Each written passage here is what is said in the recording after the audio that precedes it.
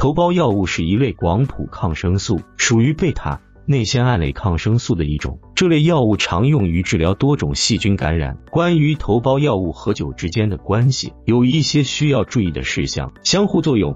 头孢药物和酒之间没有直接的药物相互作用，这意味着在服用头孢药物时，通常不会因为同时饮用少量酒而引起药物的不良反应。然而，要注意的是，酒可能会影响免疫系统和身体的康复能力，因此在感染期间饮酒可能会延长康复时间。肝脏负担，头孢药物和酒都需要在肝脏中代谢，而饮酒会增加肝脏的负担。在使用头孢药物期间，肝脏可能会更加忙碌，因为它需要处理药物和酒精。如果你的肝脏功能正常，通常情况下，适量的饮酒不会对药物的疗效产生显著影响。副作用。头孢药物本身可能引起一些副作用，如恶心、呕吐、腹泻等。饮酒可能会增加这些副作用的风险，因为酒精本身可以对胃肠道产生刺激作用。